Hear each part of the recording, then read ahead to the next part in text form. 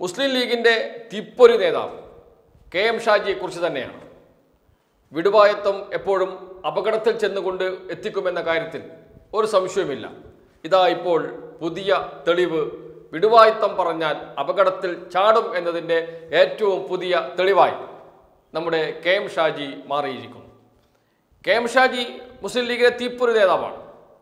എന്താണ് പറയുക എന്ന് അദ്ദേഹത്തിന് പോലും അറിയാത്ത അവസ്ഥയിലാണ് പ്രസംഗം. അദ്ദേഹം എന്തും പറയും എങ്ങനെയും പറയും എന്ന അവസ്ഥയിലേക്കാണ് കാര്യങ്ങൾ പോകുന്നത്. ഏറ്റവും ഒടുവിൽ അദ്ദേഹത്തിന്റെ ഒരു അത്യുഗ്രൻ പ്രസംഗം. ആ പ്രസംഗത്തിന്റെ വാർത്ത നമുക്കൊന്ന് വായിക്കാം. തലക്കെട്ട് തന്നെ ഇങ്ങനെയാണ്. അദാനിയെ രക്ഷിക്കാൻ നിങ്ങൾ കാട്ടറബികൾ എന്ന് വിളിച്ച് കളിയാക്കിയവർ തന്നെ അവസാനം വേണ്ടി വന്നു. ബി ജെ പിയോട് K M Shaji.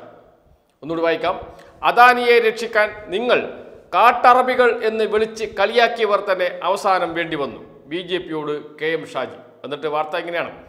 B J പിക്കാരുടെ സ്വന്തം അദാനിയെ സംരക്ഷിക്കാൻ അവർ കാട്ടറബികൾ എന്ന് വിളിച്ച് കളിയാക്കിയ അറബ് ലോകം തന്നെ അവസാനം വേണ്ടി വന്നുവെന്ന് മുസ്ലിം ലീഗ് നേതാവ് കെ എം ഷാജി. ലോകത്തെ മുസ്ലിങ്ങളെയും പ്രവാചകനെയും നിരന്തരം തെറിവിളിക്കുന്ന ആർ എസ് എസുകാർ ഇതെല്ലാം കണ്ണു തുറന്ന് കാണണമെന്നും മുസ്ലിം ലീഗ് മട്ടന്നൂർ നിയോജക മണ്ഡലം സമ്മേളനത്തിൽ സംസാരിക്കുകയായിരുന്നു കെ എം ഷാജി. നിങ്ങൾ തെറിവിളിച്ച ഖത്തറാണ്. നാനൂറ്റി അമ്പത് മില്യൺ ഡോളർ അദാനിയുടെ കമ്പനിയിൽ നിക്ഷേപിച്ചത്. അബുദാബിയിലെ ഐ എച്ച് സി കമ്പനി നാനൂറ് മില്യൺ ഡോളറാണ് അദാനിയിൽ നിക്ഷേപിച്ചത്. അതുകൊണ്ടാണ് ആർ എസ് എസുകാർ ഊറ്റം കൊള്ളുന്ന അദാനി ഇപ്പോൾ രക്ഷപ്പെട്ടു നിൽക്കുന്നതെന്നും കെ എം ഷാജി പറഞ്ഞു. അറബ് നാളുകളുടെ നിക്ഷേപം സ്വീകരിച്ചുകൊണ്ട് അദാനി നടത്തിയ സ്റ്റേറ്റ്മെന്റ് വായിക്കണം. പണത്തെക്കാളേറെ നമ്മുടെ മൂല്യങ്ങളാണ് ഈ നിക്ഷേപം എന്നതാണത്. ആരാടാ ഈ മൂല്യങ്ങളെക്കുറിച്ച് പറയുന്നത്? ബി ജെ പിക്കാർക്ക് മൂല്യങ്ങൾ എന്താണെന്ന് അറിയുമോ എന്നും ഷാജി ചോദിച്ചു എന്നാണ് വാർത്ത. ഇവിടെ പറയുന്നത് അദാനി മുങ്ങിക്കൊണ്ടിരിക്കുകയാണ്. അദാനിയുടെ ഓഹരി കോപ്പുകുത്തുകയാണ് ഇപ്പോൾ അദ്ദേഹം ലോകത്തെ തന്നെ സമ്പന്നന്മാരുടെ പട്ടികയിൽ ഏറ്റവും മുകളിൽ നിൽക്കുന്ന ആളായിരുന്നു. ഇപ്പോഴിതാ ഇന്ത്യയിൽ രണ്ടാം സ്ഥാനത്തേക്ക് വീണിരിക്കുന്നു. ഒന്നാം സ്ഥാനത്ത് അംബാനി തന്നെയാണ്. അദാനി രണ്ടാം സ്ഥാനത്തേക്ക് എത്തിയിരിക്കുന്നു. അങ്ങനെ ഓരോ ദിവസം കഴിയുന്തോറും താഴോട്ട് പതിച്ചുകൊണ്ടിരിക്കുന്ന അദാനിയുടെ സാമ്രാജ്യത്തിന് കൈത്താങ്ങായത് രക്ഷപ്പെടുത്താനുള്ള കച്ചിത്തുരുമ്പ് നൽകിയത് അറബ് ലോകമാണ് എന്നും ആ അറബ് ലോകത്തെ കാട്ടറബികൾ എന്ന് വിളിച്ച് ആക്ഷേപിച്ചവരാണ് ബി ജെ പിക്കാർ എന്നും ആ ബി ജെ പിയുടെ സ്വന്തം അദാനിയെ ഇപ്പോൾ രക്ഷിച്ചത് അറബ് രാജ്യങ്ങളാണ് എന്നും പറയുകയാണ് കെ എം ഷാജി. അങ്ങനെ ബി ജെ പിയുടെ കയ്യിലെ പാവയായി പ്രവർത്തിക്കുകയും ബി ജെ പി നേതാക്കളുടെ ബിനാമി എന്ന് വേണമെങ്കിൽ പറയുന്ന അവസ്ഥയിലേക്ക് പോലും ചെന്നെത്തുകയും ചെയ്ത ബി ജെ പി തന്നെയാണ് അദാനി അദാനി തന്നെയാണ് ബി ജെ പി എന്ന് പറയുന്ന അവസ്ഥയിൽ അദാനിക്ക് വേണ്ടി സംഘപരിവാർ കുട്ടികൾ സൈബർ ലോകത്ത് പടവരുത്തിക്കൊണ്ടിരിക്കുകയാണ് അദ്ദേഹത്തെ രക്ഷപ്പെടുത്തിയെടുക്കാൻ വേണ്ടിയിട്ടും. അദാനിക്ക് വേണ്ടി സംഘപരിവാർ കുട്ടികൾ അല്ലെങ്കിൽ സൈബർ കുട്ടികൾ എന്തിനാണ് ഇത്രയും കഷ്ടപ്പെടുന്നത് എന്ന് ചോദിച്ചാൽ അവർക്ക് തന്നെ ഉത്തരമില്ല. കാരണം മോദിയുടെയും അമിത്ഷായുടെയും സുഹൃത്തുക്കളാണ് അവർ എന്നതുകൊണ്ട് തന്നെയാണ് അവർ രക്ഷിച്ചേ തീരൂ എന്ന നിലയിലാണ് പോരാട്ടം. അങ്ങനെ പോരാടിക്കൊണ്ടിരിക്കുന്ന ഘട്ടത്തിലാണ് കെ എം ഷാജിയുടെ പ്രസ്താവന വരുന്നത്. കെ എം ഷാജി പറയുന്നത് ഞങ്ങൾ ഞങ്ങളുടെ അറബികൾ ഗൾഫ് രാഷ്ട്രങ്ങൾ വേണ്ടി വന്നു നിങ്ങളുടെ അദാനിയെ സംരക്ഷിക്കാൻ നിങ്ങളുടെ അദാനിയെ രക്ഷപ്പെടുത്താൻ എന്നാണ് പറയുന്നത്. ഇനി മറ്റൊരു വാർത്ത വായിക്കാം. ആ വാർത്ത കെ എം ഷാജി കണ്ടിട്ടുണ്ടോ എന്നറിയില്ല. പക്ഷേ പ്രേക്ഷകർ അതുകൂടി കാണണം. കെ എം ഷാജിയുടെ ഈ വിടുവായത്തം ചെന്നെത്തുന്നത് എവിടെയാണ് എന്ന് നാം അറിയണമെങ്കിൽ അദാനിയെ രക്ഷിച്ചത് ഞങ്ങളാണ് എന്ന് പറയുന്ന ആ അദാനിയുടെ സ്വഭാവം എന്താണ് എന്നറിയണമെങ്കിൽ ഈ വാർത്ത കൂടി വായിക്കണം. ആ വാർത്തയുടെ തലക്കെട്ട് ഇങ്ങനെയാണ്. അന്ന് സഹായിച്ചത് ഇന്ത്യൻ പട്ടാളം. ഇന്ന് ഇന്ത്യൻ നിക്ഷേപകൻ ഇസ്രായേലിനെ സഹായിക്കുന്നുവെന്ന് പ്രധാനമന്ത്രി നെതന്യാഹു ഹൈഫ ഏറ്റെടുത്ത് അദാനി എന്നാണ് വാർത്ത വാർത്തയുടെ തലക്കെട്ട്. വാർത്ത ഇങ്ങനെയാണ്. അദാനി ഗ്രൂപ്പിന്റെ വരവ് ഇന്ത്യയും ഇസ്രായേലും തമ്മിലുള്ള ബന്ധം കൂടുതൽ ശക്തമാക്കുമെന്ന് ഇസ്രായേൽ പ്രധാനമന്ത്രി ബെന്യാമിൻ നെതന്യാഹു.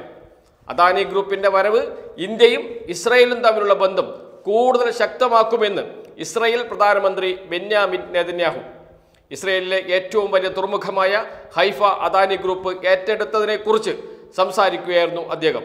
ഈ ഇടപാട് സുപ്രധാന നാഴികക്കല്ലാണെന്നും തുറമുഖം ഏറ്റെടുക്കുന്ന ചടങ്ങിൽ സംസാരിച്ചുകൊണ്ട് ഇദ്ദേഹം പറഞ്ഞു. ഇരു രാജ്യങ്ങളും തമ്മിലുള്ള ബന്ധം ഇത് ശക്തിപ്പെടുത്തും. ഒന്നാം ലോക യുദ്ധകാലത്ത് ഹൈഫ പട്ടണം വിമോചിപ്പിക്കാൻ സഹായിച്ചത് ഇന്ത്യൻ പട്ടാളമാണ്. ഇന്ന് ഒരു ഇന്ത്യൻ നിക്ഷേപകൻ ഹൈഫ തുറമുഖത്തിന്റെ ഉയർച്ചയ്ക്കായി സഹായിക്കുന്നുവെന്ന് അദ്ദേഹം പറഞ്ഞു. ഇസ്രയേലിൽ കൂടുതൽ നിക്ഷേപം നടത്തുമെന്ന് ചടങ്ങിൽ പങ്കെടുത്ത അദാനി ഗ്രൂപ്പ് ചെയർമാൻ ഗൗതം അദാനി പറഞ്ഞു.